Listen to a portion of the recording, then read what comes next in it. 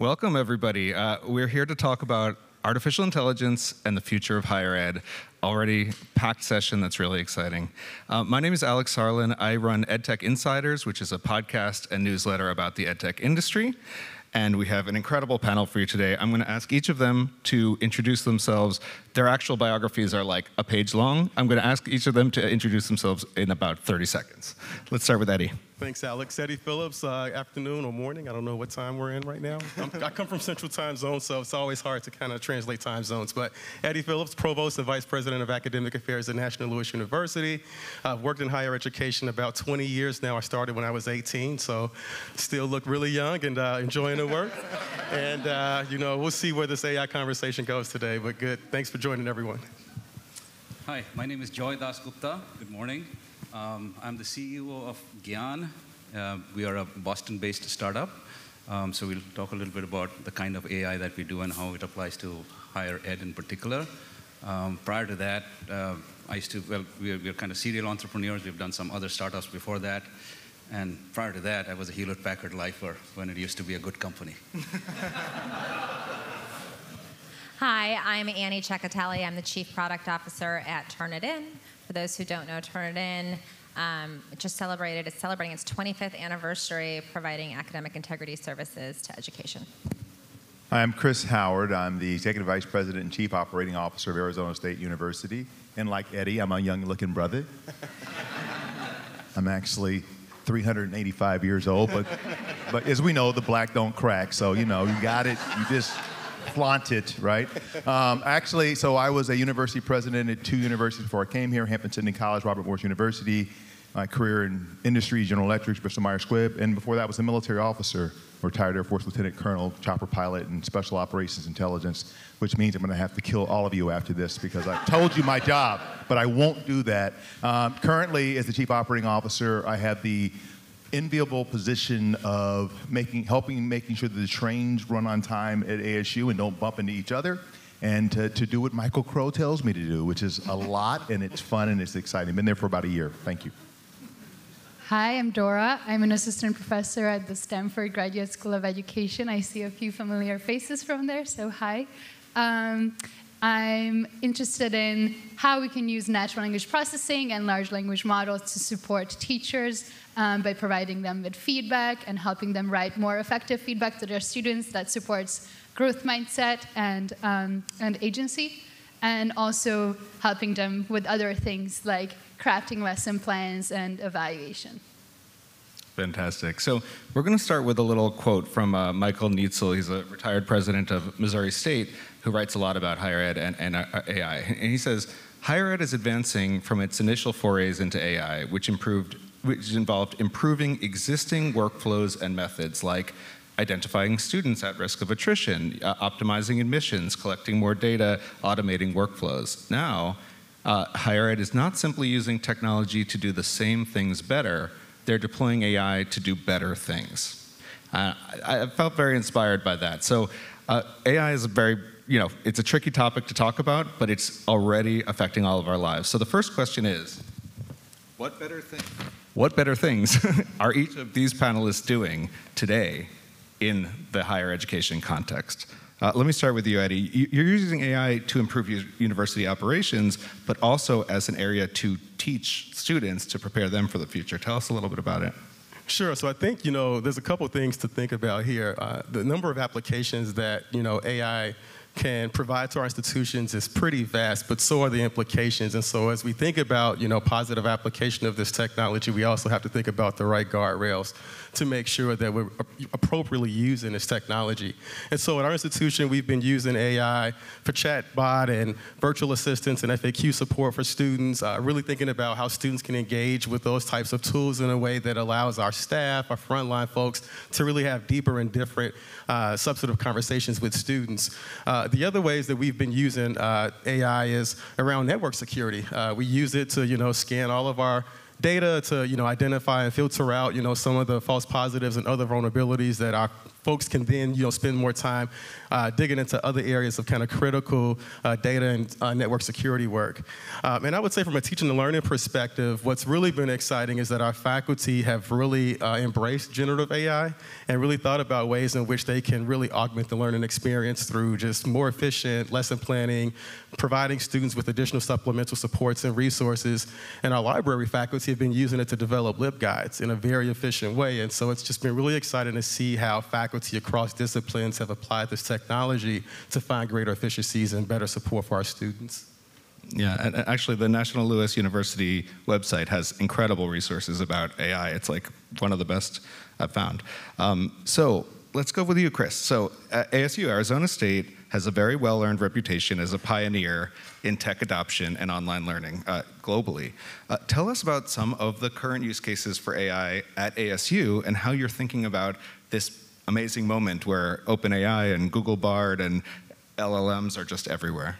Yeah, I just passed an LLM when I walked in here, so no, uh, bad, bad AI joke. But, um, you know, we, we kind of see ourselves as an innovative uh, learning laboratory, as you pointed out, Alex. And, and, and we, you know, one of the things is we want to be agnostic about the platform. You know, you mentioned ChatGPT and OpenAI. You mentioned Bard. Um, you know, uh, so uh, ASU has a history of working with all sorts of people. So that's one of the first things we want to mention. We're open to all comers, and even Jurassic. Some of the other things you even haven't even heard of, we're actually experimenting and working with them as well.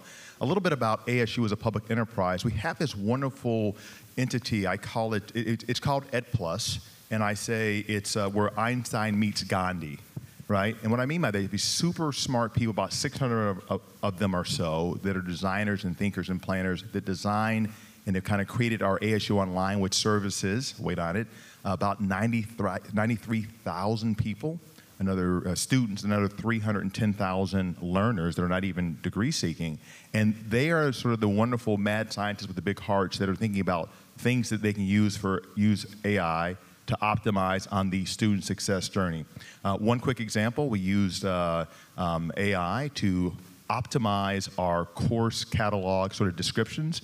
You know, when people go on and look at, um, I want to take biology 100, it can be pretty, as Larry David would say, pretty, pretty sad in terms of how it's written. So we use uh, uh, an AI technology to kind of optimize that and optimize it with a schema for SEO as well.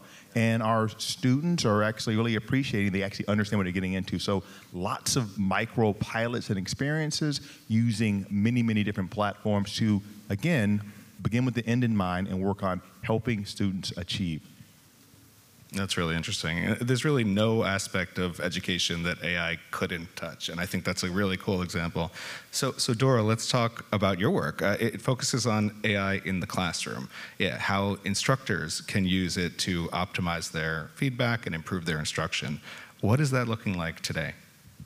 Yeah, thank you, Alex. I think that your question is very, very well framed and on point because a lot of the discussions I'm having with my colleagues and teachers is really trying to figure out like where is um, AI just like a productivity enhancing tool that you're doing things that you're already doing, but maybe faster and easier?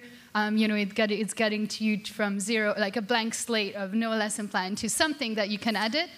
And where is it doing, giving you opportunities that you couldn't have had otherwise? And that's sort of where my research is targeting, like trying to think about things you couldn't achieve before and addressing pain points that teachers might have. So, for example, um, I'm working with social psychologists who have delivered these massively successful interventions um, on growth mindset and belonging and other types of social psychology constructs.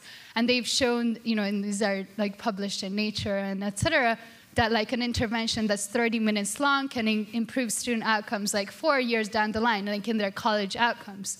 But one thing that teachers who go on to do these interventions struggle with is okay, I'm giving this sort of, I'm given this advice, I go through these like, you know, ideas about like, you know, your brain can develop and everything, but how does that actually look like in the classroom, like in language? When someone, a student, is coming to me with a problem, how do I respond? They're struggling with feeling like they might not be enough for college, or um, or you know they're struggling with a particular math problem how do i respond? And that's something that current like psychological research cannot answer. It's something that a linguist can't answer because we need data we need like outcomes. We need to triangulate different sources of information to figure out what are the linguistic signatures um, of growth mindset and what are the linguistic signatures of other good teaching strategies that we can help teachers use more. For example by creating a coaching tool for them so that they can practice these conversations. That just simply does not exist at all. Um, maybe a peer you know teacher could sit down with you to simulate you know pretend they're role playing like pretend they're a struggling student but not, that's not going to be the same. Ai is giving us this opportunity to actually um, learn from real interactions and help teachers become better at these very sophisticated but very high leverage strategies so i think that's one, one thing that we're trying to focus on and centers of teaching and learning in universities always want to expand their impact. And um, we talk about how professors don't often get a lot of teaching uh, support. So this could really expand that. Um, Annie, let's talk about what you're doing. Turnitin just launched its AI plagiarism detector last week, I believe. Yeah, April 4th, two weeks ago. Two weeks ago. Um, but that doesn't tell the whole story of what Turnitin is thinking about in terms of AI at all. It's very bullish about AI as an amazing learning tool. Why is that? Yeah, we already um, use it in a lot of our products. most people know our plagiarism products. We also have other products, um, one of which focuses on making grading more efficient. So look, thinking about really the educator as our persona. Obviously, there's students and there's administrators, but how do we make grading more efficient so they can focus on the conversations with the student? For instance, you know, grouping like questions together so they just grade them once like, why should every teacher grade every paper and it's the same STEM work by, you know, step by step? Just do that once, and then you can say, here, goes out to everybody. So we've been working with AI from a grading efficiency for quite a while, uh, as well as on uh, using AI to detect AI, which people find funny. Uh, but uh, so launched a few years ago when the problem of contract cheating, so paying somebody to write your paper, became more prolific with the internet. Uh, in terms of hiring somebody to do that, we started really looking at the signatures of writing, both from a specific how students write uh, and understanding individual student writing and being able to apply that and extrapolate those statistical markers, which then brought us and got us a lot of training to what we're doing now. Um, so people think that the AI generative writing is a new thing. It's not. ChatGPT is a new thing. It's the uh, end of November last year, but GPT-3 was released in June 2020. So, as an AI team, we'd already been working with understanding those models and how they generate words, uh, and then how we would be able to provide insight for, for teachers to be able to detect it. And we always say these detectors are signals for teachers to use, just like any other product. It's something for the teacher to make a decision on. It might just help them go faster. We've heard already from a lot of teachers saying, I felt that, that this was written differently, maybe wasn't by the student, but this just gave me more information to have a conversation with the student. So it's about allowing them to move faster. And we're even seeing, you know, we're listening to them on what are the problems that come back to grading and feedback and how we can make that more productive. I mean, there's grading and feedback that's kind of basic right? And then there's the grading and feedback that's like, how was your thinking? How was your analysis? I want to give you feedback on those things and have teachers having more time for that analysis and less about the actual construction. Uh, and so those are the types of, of projects we're working on. That's really interesting. And, and Joy, you know, your company, uh, Gyan AI, has been working on a variety of different use cases for universities. Give us a rundown of what some of those are today in 2023 and what's different about what you're offering. Let me start with what's different about what we are offering. Um, so um, we have developed uh, what we are calling an explainable language model. It's not a large language model. Um, and just small intro to the tech so that I can, so the use cases will make sense. Um, and we have basically decoupled the model from the data. Okay, that's a very important decoupling because then your model is not contaminated uh, no bias, ethics issues, IP infringement, um, et cetera, doesn't creep into your model. Okay, so we were pretty deliberate about doing that, and that was sort of a founding criteria for us. Um, and how we did it is essentially we are using you know, formal semantics, computational linguistics, um, um, rhetorical structures to sort of be able to have this standalone data independent model. Okay, so that's what we're taking and applying it to certain use cases. Higher ed is our first and uh, vertical that we're really now pretty deep into. Um, and I think the, the, the reason for beginning with higher ed for us was that wherever the cost of a mistake is high, wherever explainability matters, then I think we have um, you know, something pretty powerful to offer. Okay, because I think we're going to have to confront those things as we are learning from data, specifically using, you know, as the large language models, you know, sort of become ubiquitous and, and, and widespread, explainability is going to become, you know, super important, particularly in your vertical. Okay, so that's sort of the brief backdrop on the tech. The use cases that we're applying it for today, um, and I just, there's about four, maybe three and a half. Um, one is on content, intelligent content discovery and auto curation. Okay, bit of a mouthful there. I'll just describe what that means. So, for example, this, this application we have called Gyan, uh, company name Gyan, application name also Gyan. Uh, it's, it's pre, it comes preloaded with OER content. Okay, so we have MIT OCW, MERLOT.org, OER.org, something, something else that I forget right now. So we've got four sources preloaded. Um, and then uh, uh, somebody who's looking to create new content writes a hierarchical query, like a lesson plan with modules, like a book, chapters in a book, points it to as many sources as you want, internal, external, behind paywalls, etc., on your laptop, and hit go. Okay, Gyan goes and then discovers, it's got its own relevance algorithm so that you uh, get to find the top 25 from across all these sources and not the top 25,000. So it's, it's pretty sharp about that. It, it organizes the content into those chapters. It auto summarizes, just like ChatGPT does. But there's a difference, and there's an important difference. This summary is extractive, not generative. Okay, so we are trying, as a company, and I know this may be very different from what you might have heard elsewhere, we are trying to stay away from generative so that we can then really tie back what we are saying to content where it's coming from, down to the line, down to you know, the word.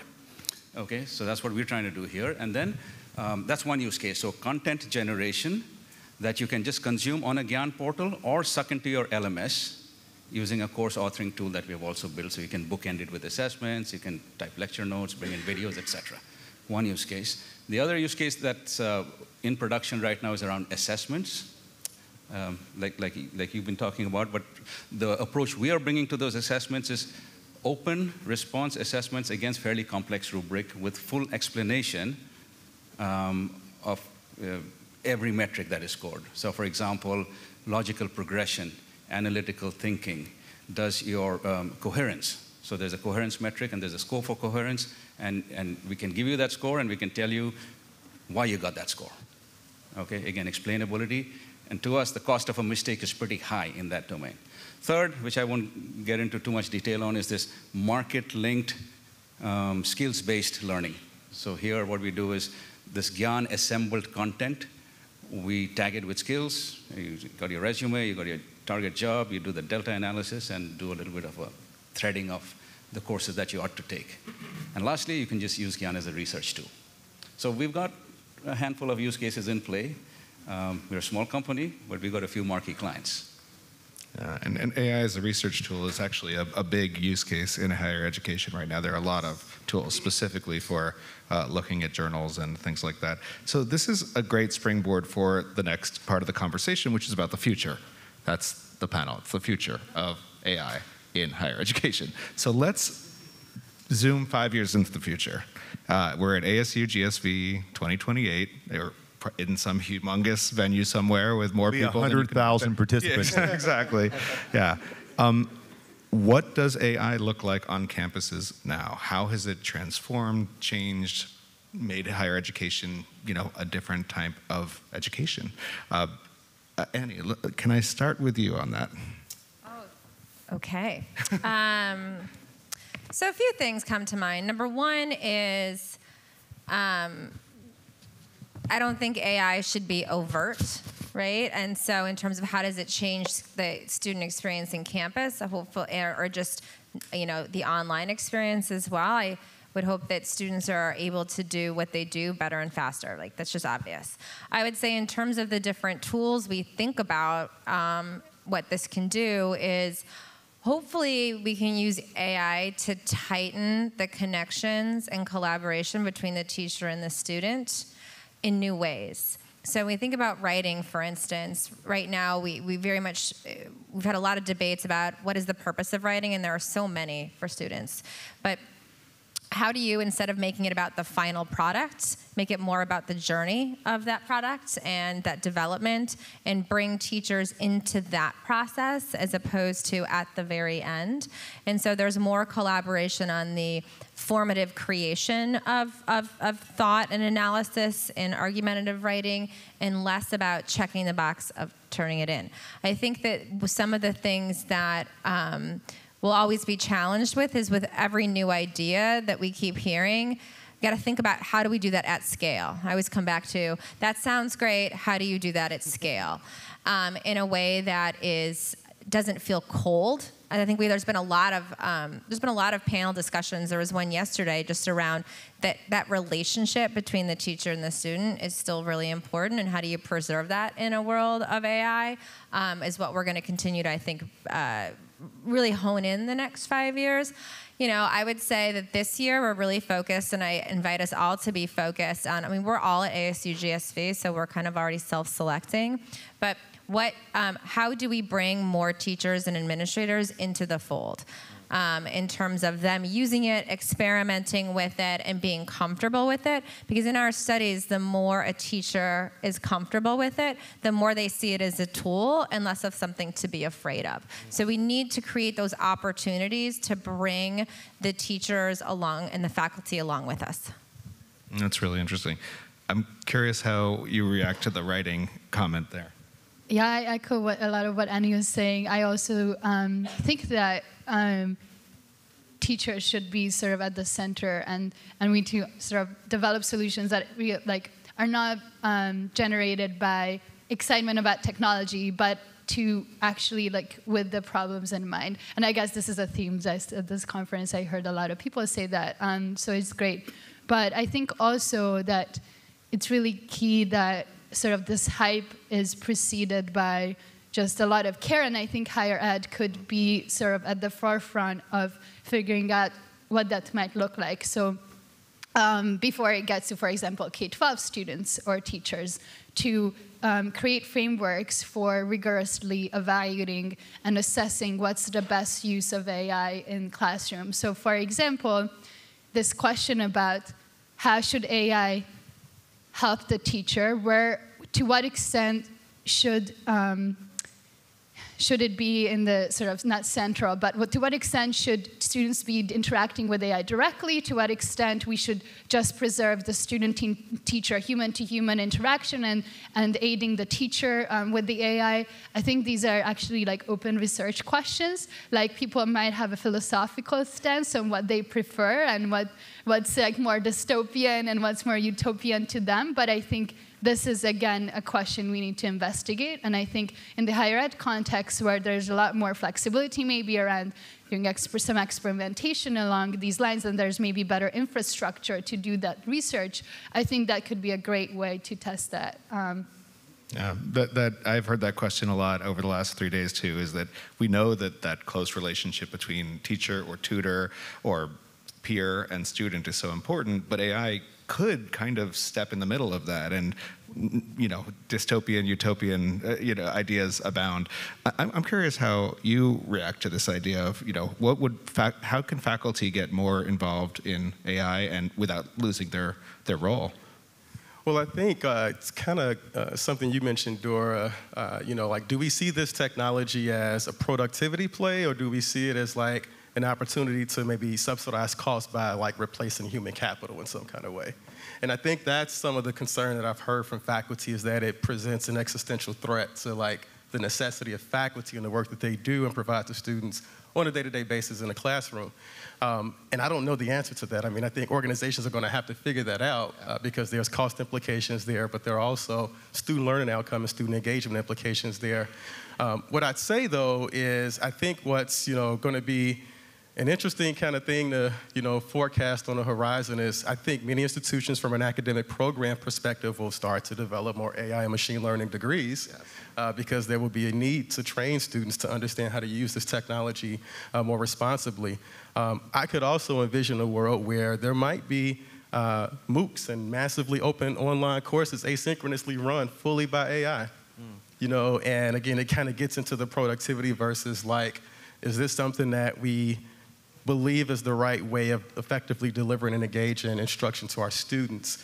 Um, and I think the last piece that I'll say in terms of like the teaching implication is I, I totally agree with everything that Annie said is that faculty are going to really have to think about different ways of designing pedagogy, delivering instruction in ways that uh, are not like so reliant on these kind of high stakes summative essays and writings. Uh, there has to be more formative engagement kind of happening incrementally along the way to really understand student voice. And that's how you distinguish, you know, really original work from students that's being generated and derived by students versus those that are, that's being derived by, you know, a robot. And I think faculty are going to have to really engage students in a deeper way to discern what that looks like with their students. We've seen I don't know if people have read these, but there are all these articles now about individual faculty members at one college that are embracing ChatGPT and making it required in the curriculum, and then many others who are saying, wait, we don't have a policy for this yet. Um, you think about scale in education a lot. How can we balance AI to create scale without running those relationships that faculty have with students? Well, I, I, think it's it's the right question, and, and, and first off, just to kind of go back to your first part, the way you prompted us, I want to say the campus is very much converging to this, yeah. um, and, and I want to use a couple of use cases to speak to what you're talking about here in your original prompt. But you know, the campus is not going to go away, but the campus is more and more going to be in our pockets because our not our, our, our non-traditional learners are now our traditional learners. Like 75% of our folks that are learning are, are, are, students either certificates, upskilling, or doing degrees are not in a classroom and not on a campus, and nor can they be on a campus because they're too busy, you know, making money to eat and survive. So we have to recognize that first and foremost. Right. So I'll use a use case that's, so you, you said five years out. Yep. I'll use a use case that we're working on right now at ASU. I'm going to use three of them and do them very briefly and bridge them together in a brilliant way. So wait on it. Here it comes. Here it comes. So pure Michael Crow sort of how do you eliminate the barrier of math to people that want to get into STEM degrees in the STEM world? So we're doing something called the Max Accelerator, which is math uh, and computer science and, and statistics, working with uh, was a company called CogBooks, which got developed by Cambridge University Press, working together in this Ed Plus and Enterprise Technology, which is another one of our parts of our public enterprise at ASU, to um, create this technology where you learn um, pre-algebra up to calculus and it remediates for lack of a better word to help you learn where your mistakes are. It is sort of was ai before ai was cool. And we're working on that now with significant philanthropic corporate philanthropic sorry philanthropic and support dollars to make that happen. If you heard michael yesterday on stage he talked about study hall with katie with youtube and crash course and all these cool things. So how to college how you go as katie said from curiosity to credit with Study Hall. These are all scalable. Now, when you do the Max Accelerator, the adaptive learning on the math side, it's not big sexy. It's, you know, it's like coding for people that don't code. It's yay, but I don't really get it. But, but it, guess what it needs to do? Yeah. Over here with, with, with, the Green Brothers, I mean, that's, that's sexy, right? Mm-hmm. So I think that generative AI will bridge those things mm. with this so that in some ways, instead of it teaching you with like language with just, you know, you know, that problem was wrong, do it again. It will be the coolest instructor that you ever thought about, curated to you, teaching you the way that you want to learn to get the best outcomes, right? So I think that, I think five years from now, someone's going to show you a cool demo of, of that. Um, and so I think that's going to happen. Here's the last one that's on the campus. Anybody do the Dreamscape Learn um, pod down there, immersive learning or Alien Zoo? Good, good. Very cool thing. Um, so, you know, that's our immersive VR AR technology. One of the things we have in there is called the virtual classroom. In addition to doing the Alien Zoo, which is a biology sort of lab, you can go into a virtual classroom. We can render almost anything and put you inside of it with 30 people, 30 of your closest friends. The next GSV will be inside of a virtual classroom because we can't fit everybody in. Right. But you can imagine this is what Lev Gonick, who, who, runs enterprise technology, which is about a thousand of our top technology people uh, at ASU working along with the 600 Ed Plus people, um, is that you'd have a, a generative AI personal assistant teacher inside of an immersive community, immer, immersive sort of classroom at scale, and you know, getting these great outcomes you're talking about um, in, in a way that's like, you know, MOOCs 10.0, as it were. So that's another thing I think can happen in the next five years. We're very close now. We have the immersive technology, we have the AI. How do you match and marry those up? Maybe somebody in this room is going to do it with ASU. We, we look forward to it. And that'll be another example of people getting what I said, like I said before, and everybody said before, the right outcomes. Agnostic, is it with the teacher? Yes. Is it direct? Yes. But it's getting the outcomes we need um, for the future we need.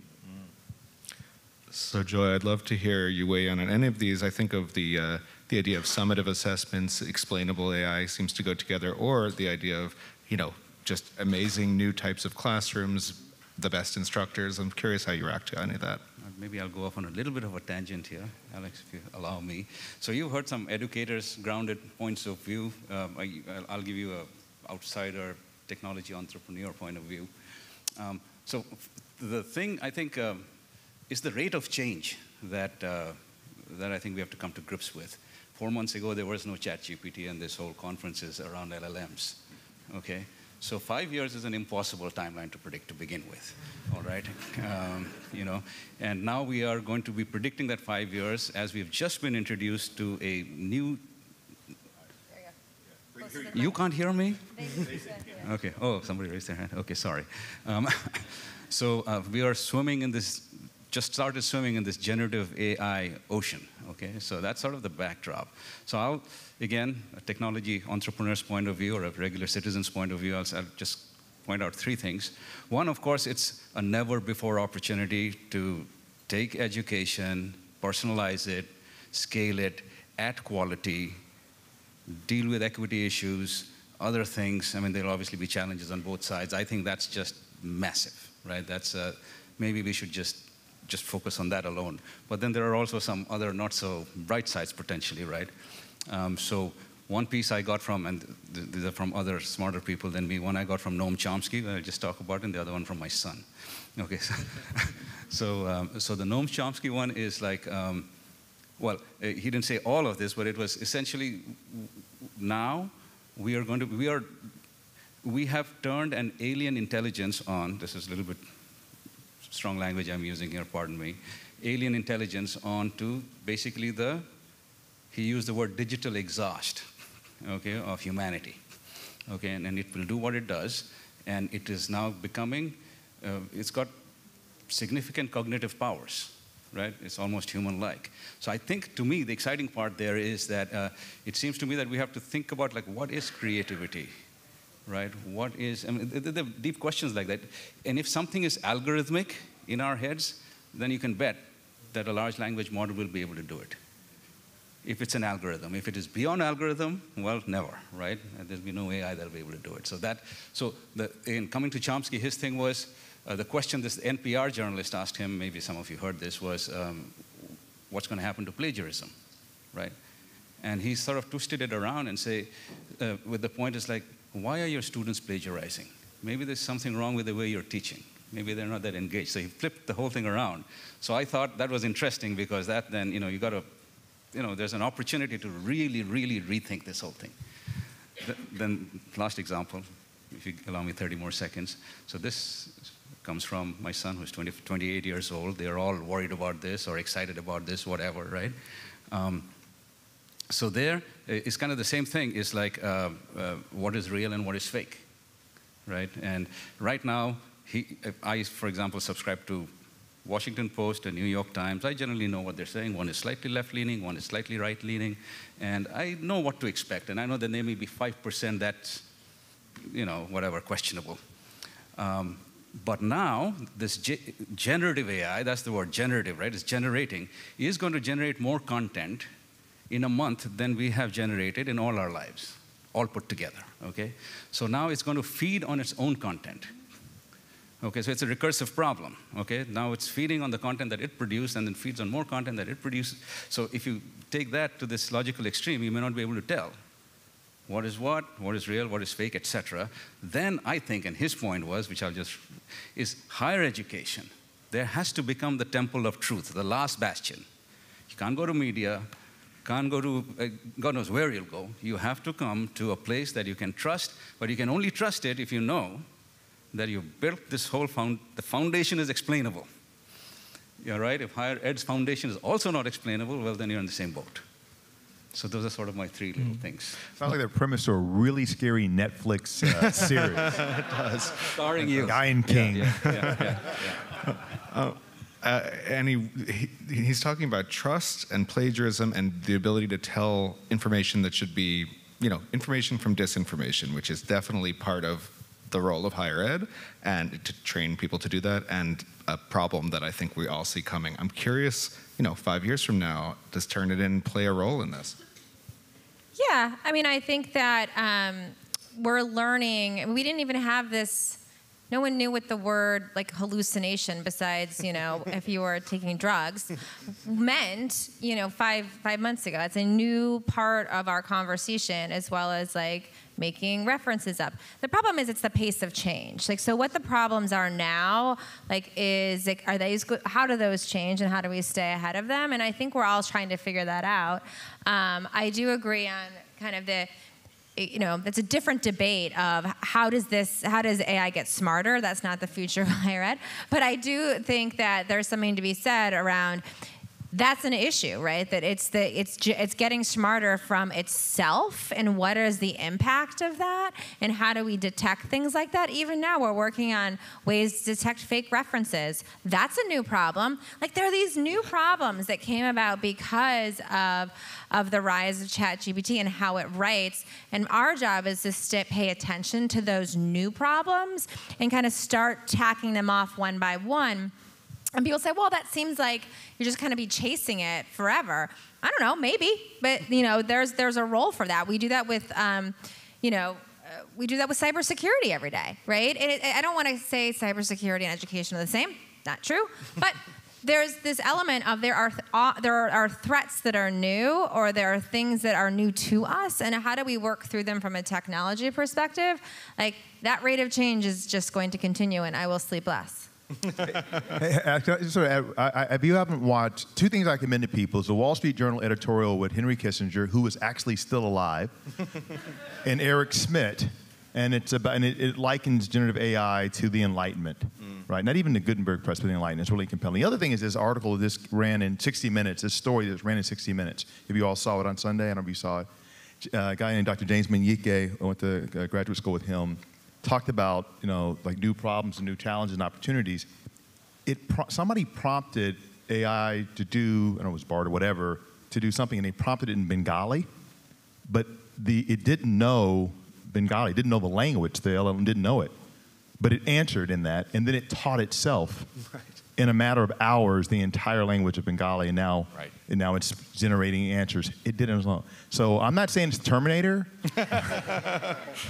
But you're not. uh, not but there's some really it. cool opportunities. I just wanted to put that out there as like Yeah. one concrete example. A a question for you. If an AI goes into all of the journals that are sitting into the university library that no human has ever made its way through, what does that mean? Yeah, great question. I think um, sort of building on what Annie was saying about like um, we have to, we have these new problems that we haven't had before. I mean, people probably made up things before, like you know, in their college essays or whatever. But I think that it's, it's going to happen at a new scale. Um, I think we have to, and, and it relates to also like journals. I mean, who knows? I mean, even some of those journals or, or papers might even not be like real studies. I think it's going to shift the focus on, on like around and everything. Like for example, um, you, you might have to like identify what is stable, what we can hold onto. For example, people's reputation, you know? Like that's something that's probably people are gonna continue to care about their reputation, meaning they probably won't avoid plagiarizing or, you know, like things that like I think it can create new inequities with respect to um, uh, reputation because you might just um, you might you shouldn't equate reliability or trustworthiness with who wrote something because it's possible that okay that's a harvard professor. I trust them. That's a real study. Oh if it's written by someone else then maybe i'm going to you know question it more and don't trust their references. So i think it's going to create these new potential inequities and it's going to create new challenges. So i don't know the, the answer to that but i think there's a lot a big risk. Um, around like or, or big question arising from distinguishing real from not real, um, which has been around in research forever. Like replicability is this huge question. Like most studies can't be replicated. So I think it's bringing that to a new level. I think we're about at time, but I want to give you the final word. Five years from now, what's the most exciting thing that's going to be happening at National Louis University? Oh my gosh. Um, that is a very hard question to try to anticipate. um, Dream big. I think you know we will have you know figured out you know in a very robust and scalable way how this technology can really support and drive better student outcomes.